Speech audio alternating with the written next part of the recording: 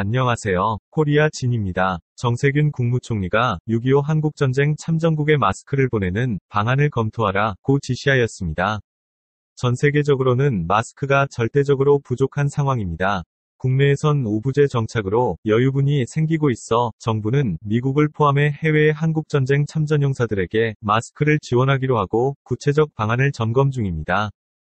해당 국가는 미국, 프랑스, 영국, 캐나다, 콜롬비아, 필리핀, 태국, 에티오피아 등 16개국과 의료지원 6개국, 이탈리아, 덴마크, 노르웨이, 스웨덴, 인도, 독일의 경우 현재 코로나로 극심한 피해를 입고 있습니다.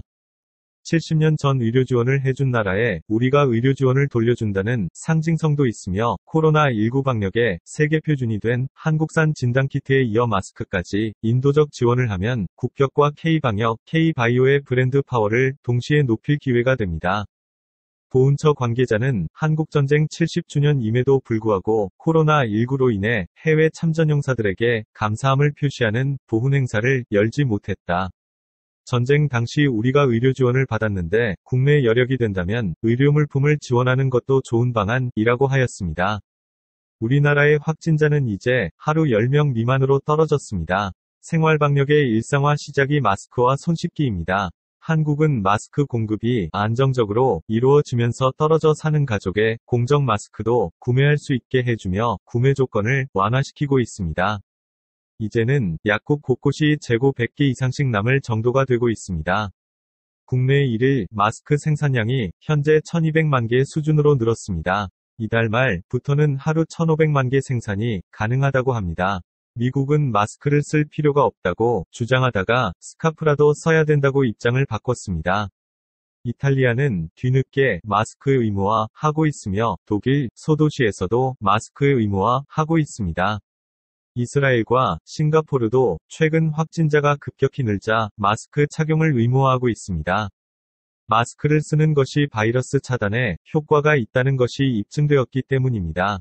유럽에서 귀국 후 작가 격리까지 접촉자 0명으로 유명했던 발레 선생님과 제자 3명이 유럽에서 돌아왔을 때도 마스크가 효과가 있었습니다.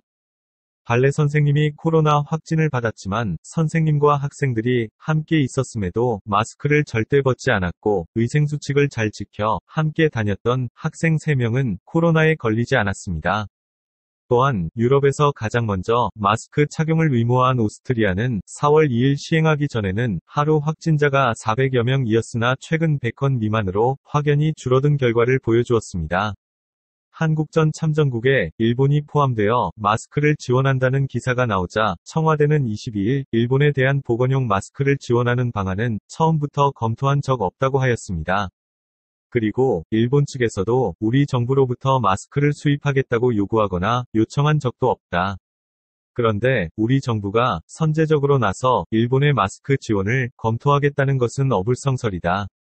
이상 코리아 진이었습니다.